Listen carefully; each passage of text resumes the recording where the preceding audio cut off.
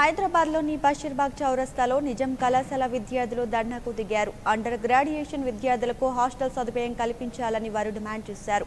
ఈ మేరకు కళాశాల ప్రిన్సిపాల్కు వ్యతిరేకంగా నినాదాలు చేస్తూ విద్యార్థులు రోడ్డుపై బైఠాయించడంతో భారీగా ట్రాఫిక్ జామ్ తలెత్తింది.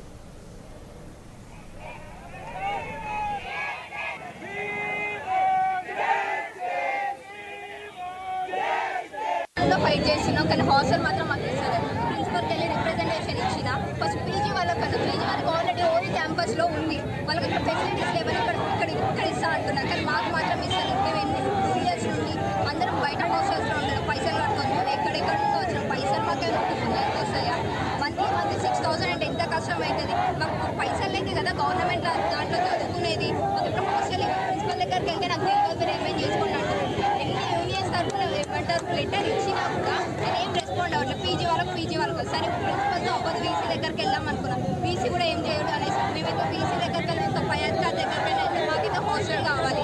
ప్రిన్సిపల్ అయితే ఏం చేస్తారో కరెక్ట్ ఇన్ఫర్మేషన్ మాకు ఇస్తలేదు.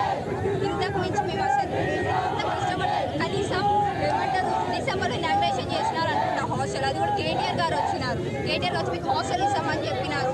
ఇప్పటివరకు లేరు. అందరు మినిస్టర్లు కానీ టీఆర్ఎస్ టీఆర్ఎస్ ప్రభుత్వం మాత్రం ఏం చేస్తారు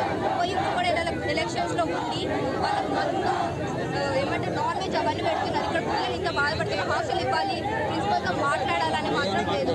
కేటీఆర్ గారు ఇక్కడ ఈ కాలేజ్లో చదువుకున్నాలే కదా. కొంచెం ఆడబిడ్డలకు ఏమంటారు?